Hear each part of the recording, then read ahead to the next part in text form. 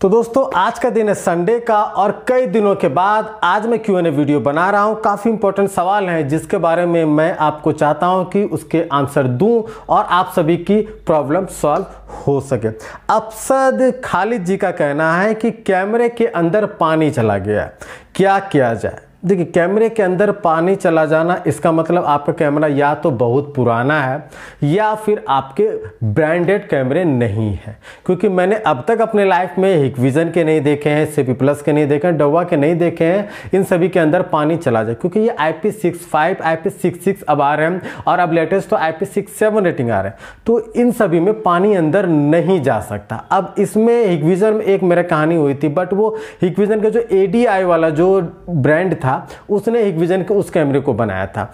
तो वहाँ पर यह प्रॉब्लम आ गई थी। प्रमाहिक विजन का वो कैमरा नहीं था और उसमें ये चीज़ें आई थी। अगर मॉइस्चर वगैरह आ जाता है और अंदर में पानी चला गया है तो आपको फॉगी वगैरह कंडीशन आपको देखने को मिलेगा।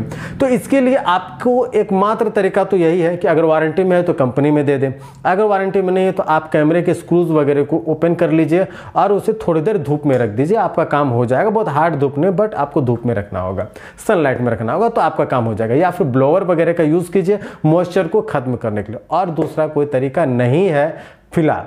तो इन तरीके से आप इसे सॉल्व कर सकते हैं बट मैं हमेशा आपको रिकमेंड करूँगा कि आप आई पी और आई पी वाले कैमरे को ही यूज़ करें।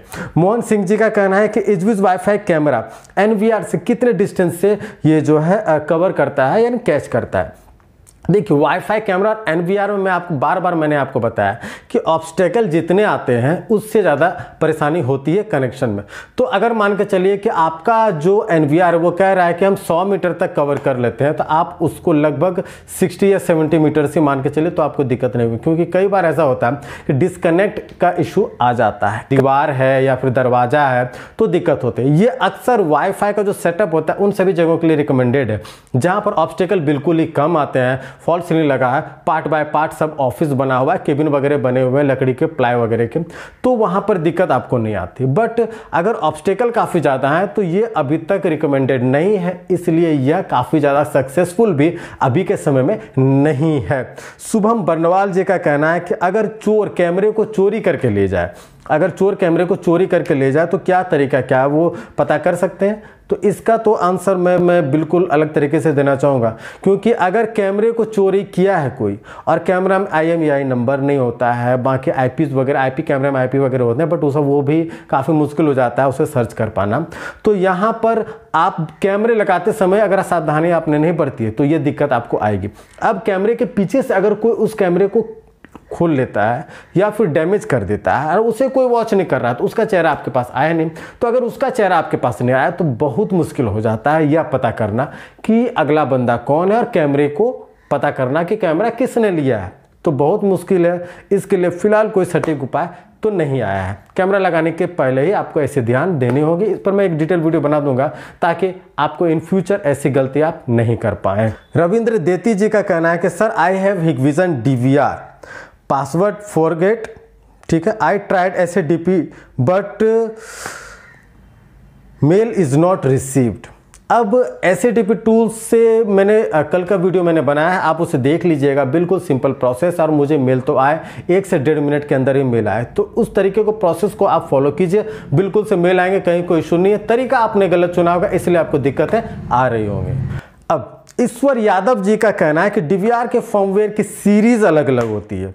तो कैसे पता करें कि किस सीरीज़ के लिए कौन सा फॉर्मवेयर है और किस मॉडल के लिए कौन सा फॉर्मवेयर है? तो अलग अलग चीज़ें ये कैसे पता करें? तो देखिए, यहाँ पर मैंने आपको बताया था कि जब भी आप फॉर्मवेयर अपग्रेड करना चाहते हैं तो सिंपल तरीका फ़िलहाल आपके लिए है कि आप अपने से ओवर स्मार्ट नहीं बने, अपने आप को उस्ताद नहीं समझे।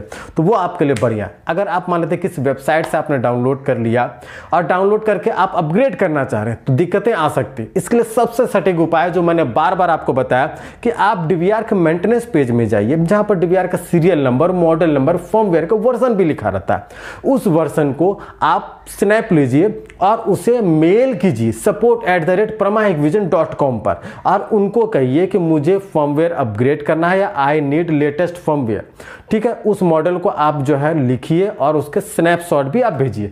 तो कंपनी को पता चल जाएगा कि आपका कौन सा मॉडल नंबर है, आपके डीवीआर या एनवीआर या आईपी कैमरे में अभी कौन सा फॉर्मवेयर चल रहा है।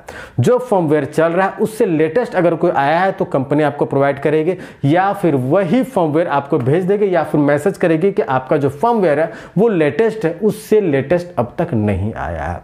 तो इस तरीके से आपको आसानी हो जाएगी, क्योंकि कंपनी जो भेजेगी, जो रिकमेंड करेगी, वो आपके उस डीवीआर एनवीआर आईपी कैमरे के हिसाब से सूटेबल होगा। तो वहाँ पर गलती होने के चांसेस बिल्कुल नहीं होते हैं। इन तरीकों को ही अगर आप अपनाते हैं तो फर्मवेयर में कोई इशू नहीं आएगा। फर्मवेयर अपग्रेड करने में आपको कोई परेशानी नहीं आएगी। तो दोस्तों, ये कुछ सवाल थे जिसका आंसर मैंने दिया। उम्मीद करता हूँ कि आपको काफ़ी पसंद आए होंगे।